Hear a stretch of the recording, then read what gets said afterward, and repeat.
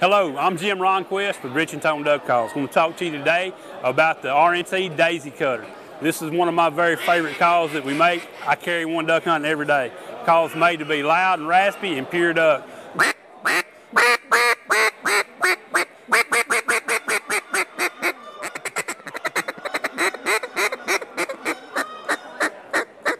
It's a great call. It's made out of Cocobolo or acrylic. Um, very versatile. Use one anywhere in the country. Check them out at Cabela's